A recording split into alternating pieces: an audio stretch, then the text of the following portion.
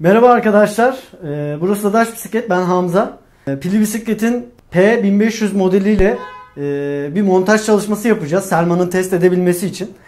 Ee, bu bisikleti bilerek zor seçtik. Zor montaj olan bir bisiklet seçtik ki e, bisikletin tamamını ele alabilelim. Bisiklette nelerle karşılaşabileceğimizi görelim diye. Güzel bir bisiklet seçtik aslında ama biraz montajı zor. Elimizden geldiği kadar hızlı ve pratik şekilde size de anlatarak e, videoyu tamamlamayı düşünüyoruz. Hadi başlayalım. Şimdi bu bisiklet üzerinde incelememiz gereken bazı noktalar var. Öncelikle bu bisikletin arka jantını tekrardan örmemiz gerekecek. Çünkü elektrik kitleri biliyorsunuz hazır jant örülü bir şekilde geliyor. Bisikletin üzerindeki jantını montajlayabilmemiz için kendi çemberine öreceğiz. Onun haricinde bisikletin pil kısmında orijinal suluk vidalarının e, biraz yukarıda değil de aşağıda olduğunu söyleyebiliriz. Bu yüzden pil yuvası e, kendi vida noktalarına erişemiyor. O yüzden bu pil yuvasına iki tane delik açıp e, olabildiğince aşağıda tutmaya çalışacağız pil yuvasını.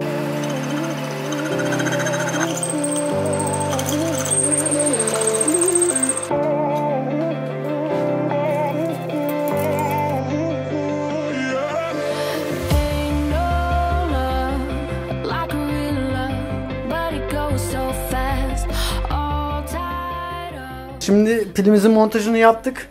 Birazdan arka jantı örmeye başlayacağız. Daha doğrusu önce sökeceğiz. Daha sonra tekrar öreceğiz.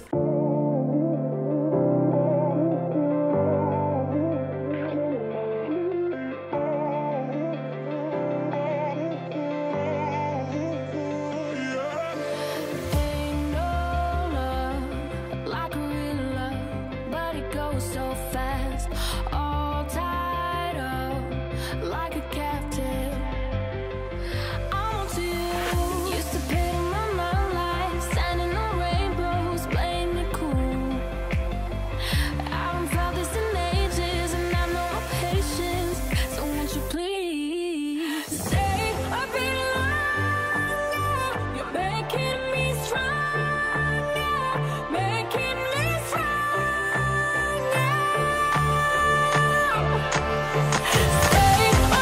e, kendi jantını kullanmak için e, motoru ördük. Bisikletin kadrosu standart olmadığı için akortun üzerinde yaptık. Bunun sebebi jantın tam olarak ortalanmasıydı. Kadroya göre tam olarak ortalanmasıydı. Aksi takdirde lastiğin sağa ya da sola sürtme ihtimalleri vardı. Onu göze alarak bisikletin üzerinde akordunu tamamladık. Şu anda jantımız hazır.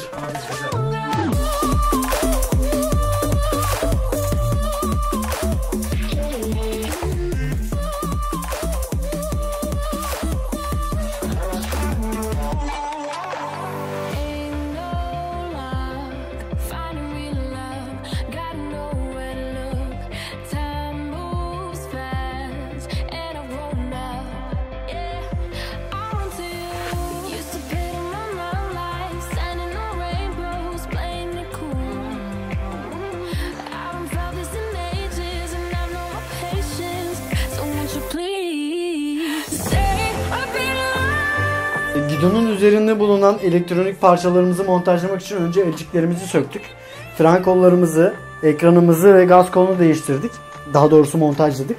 E, fren kolları değişmiş oldu. Değişme sebeplerinden biri e, motora aynı anda güç verirken frene dokunduğunuzda motora giden elektriği ve gücü kesmesi için bu fren kollarına ihtiyacımız vardır. Gidonun üzerinde bulunan bu 4 tane kabloyu tek bir kabloda toplayıp tek bir noktada toplayıp e, beyine ulaşmasını sağlıyoruz bu kabloyla. Birazdan bunu bağlayacağız. Bu sayede arkaya tek 4 tane kablo gitmesi gerekirken tek bir kabloyla işi bitirmiş olacağız. Pedal asistanı iki tarafa da takılabiliyor. Yalnız ben bu bisiklette sağda olmasını tercih ediyorum. O yüzden ayna kolu sökeceğiz. Pedal asistanımızı bağlayacağız.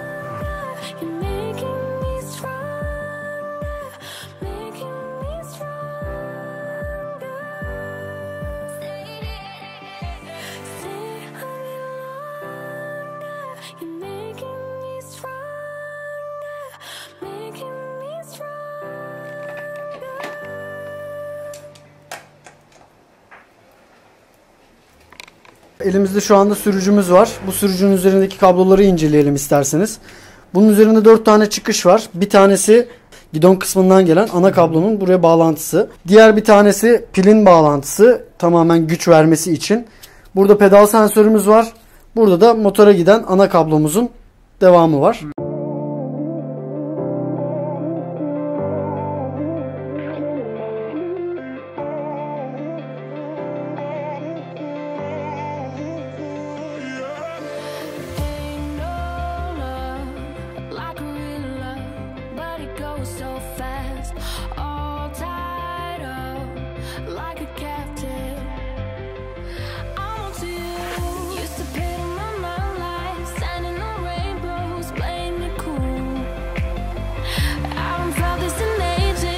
Bütün ana kabloları bağladıktan sonra bisiklete gücü verdikten sonra çalışıp çalışmadığını bir kontrol etmemiz gerekiyor. Düğmemize basıp güç almak için ekranı açıyoruz.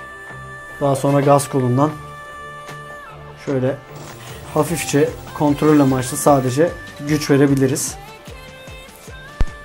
Arkadaşlar parçalarımızın çoğunun daha doğrusu %80'lik kısmının montajı bitti. Bisikletimizin en zevkli kısmındayız. Kablolarımızı montajlayacağız. Bisikleti ne kadar sadeleştirebiliriz? Bu kabloları nereden götürsek daha uygun olur gibi ince kreatif detaylara özen göstermemiz gerekiyor. Bu kabloları tuttururken bisikletin üzerine sabitlerken plastik kelepçe kullanıyoruz. Ee, hadi beraber yapalım ve bisikletimizi bitirelim.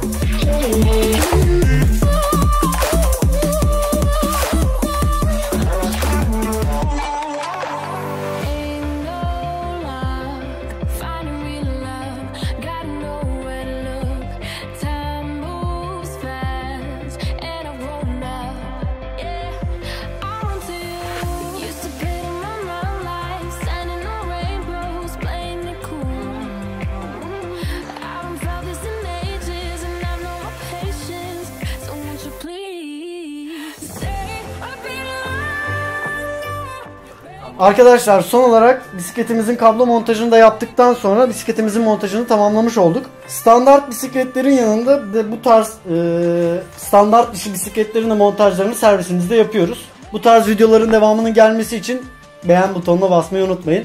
İzlediğiniz için teşekkürler.